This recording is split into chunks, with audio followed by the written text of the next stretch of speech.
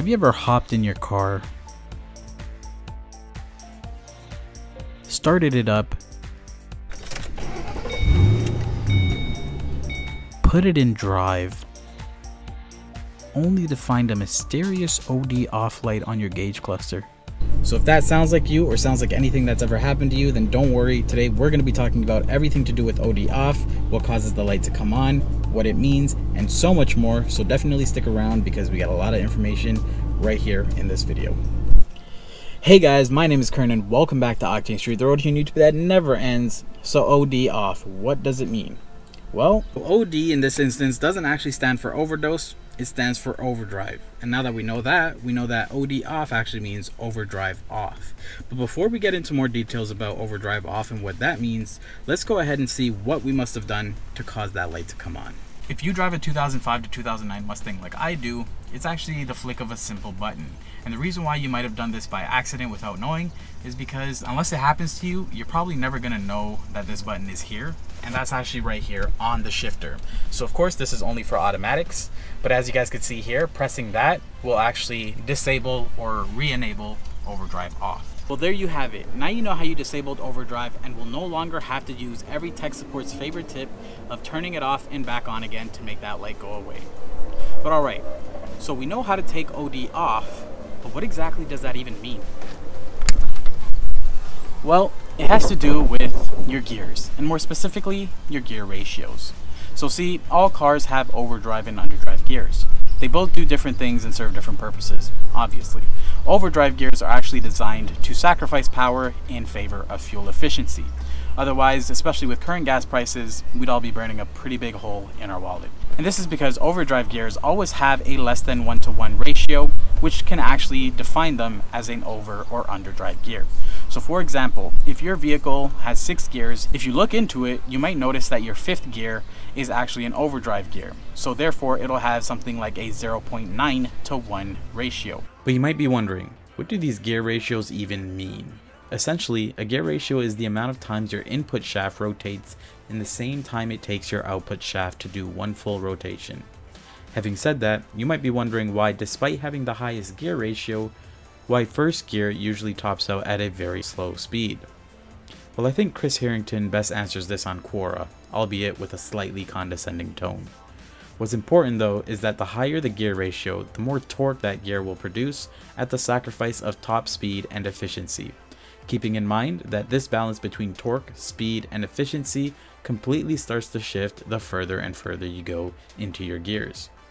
But to cap it all off, let's use this image I drew of a gear cluster for my level 1 drivetrains assignment. We see that the third gear has a gear ratio of 1.4 to 1. This means the input shaft is rotating nearly one and a half times for every one full rotation that the output shaft makes. So while underdrive gears are great for making what feels like instant power, they're not as efficient to drive in as this increased speed on the engine's RPMs puts a large strain on your motor while also burning a lot more fuel.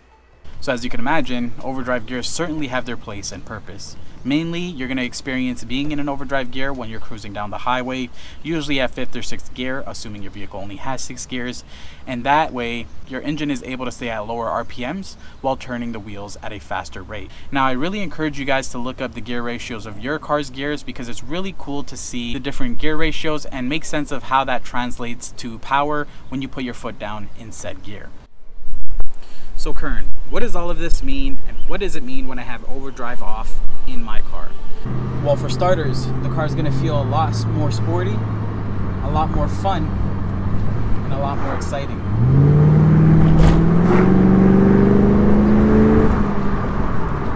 It keeps you in those power gears. Of course, since the overdrive gears are disabled, it keeps you right where the fun is, the action essentially it keeps you right where you want to be. With the fuel gauge, ugh, don't look at that. Instead, focus on how amazing it is that with the click of a button, you're able to disable those granny gears and stay right in the action, right where you want to be.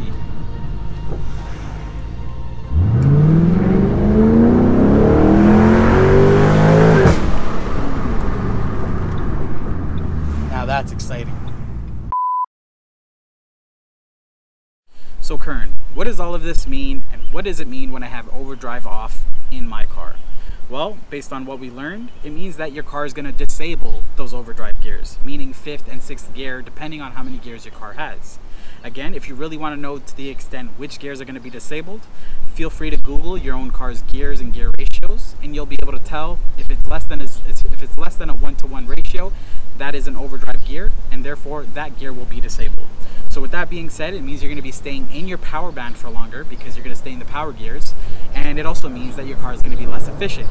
So with that being said, you guys can use your own imagination as to when and where it would be suitable to disable those overdrive gears. An example would be on an on-ramp on a busy highway. If you want to make sure that you're not going to be slouching in those overdrive gears and you need that power right then go ahead and disable overdrive and it'll give you that power, keep you in those second, third, and fourth gears. So you know once you put your foot down, you're going to be able to overtake a car and get on the highway safely. Alright guys, so I hope you've learned something in today's video. If you have, be sure to hit that like button, subscribe, and hit that notification bell so that you guys can ride shotgun with me in the next video. My name is Kern, this is Octane Street, and I'll see y'all later.